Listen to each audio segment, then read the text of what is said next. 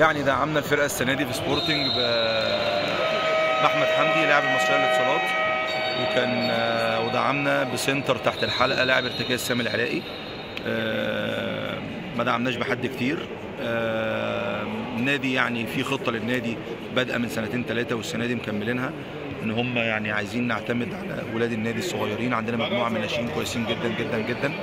منهم حسن عامر موجود النهارده هنا وفي آه، مجموعة تانية برضو موجودة آه، بحيث إن إحنا نبدأ نعمل آه، قاعدة من ولاد النادي قدروا يقدروا يعتمدوا آه، النادي يعتمد عليهم الفترة اللي جاية خاصة في ظل الأسعار وظل الميزانيات الرهيبة اللي موجودة دلوقتي بين الأندية.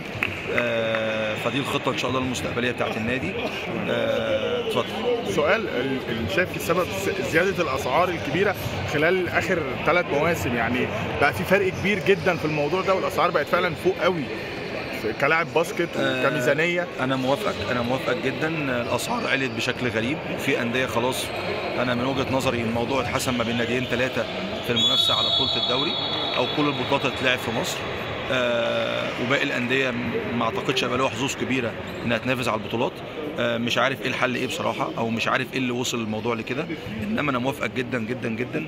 إن الأسعار وال budget بتاعت اللعيبة والأندية بقت آه، عالية جدا جدا جدا. كمان مش اللعيبة المصريين بس اللعيبة المحترفين اللي بره اللعيبة المحترفين اللي بيجوا الأندية أهلي زمالك اتحاد الأندية دي كلها بقت آه، أسعار آه، كبيرة جدا جدا جدا. هو سبورتنج مش في ال top four يعني عشان برضه نبقى حقانيين في العرض يعني سبورتنج مش في ال top four لا يعني يعني بن- بنيجي في الخامس والسادس لاعبين في الحتة دي الفترة السنتين ثلاثة الأخر.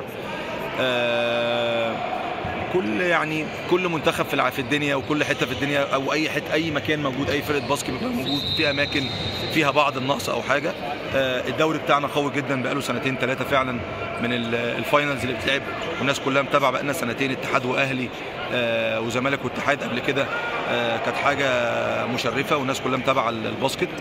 إنما لا الحمد لله منتخب مصر ماشي كويس. منتخب مصر كسبان سبع ماتشات من تسعة مغلوبين ماتشين بس. آه لسه راجعين من آه ال window اللي في تونس. ربنا كرمنا بماتشين واتغلبنا ماتش. إن شاء الله عندنا ال window الجاي مش عارفين هيبقى في مصر ولا في دكار آه إن شاء الله محتاجين ماتش أو ماتشين. آه وان شاء الله بأمر الله نحقق الحلم ونوصل كأس عالم إن شاء الله.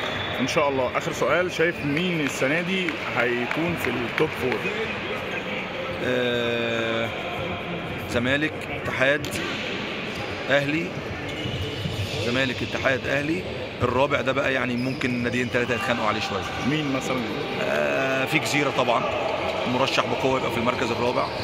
في آه، في سبورتنج في سموحة.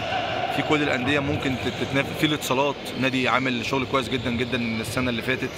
آه، أهلي زمالك اتحاد. هم دول اللي في الثلاثه المراكز الأولى. المركز الرابع هيتخانق عليه فرقتين ثلاثة دي من وجهة نظري.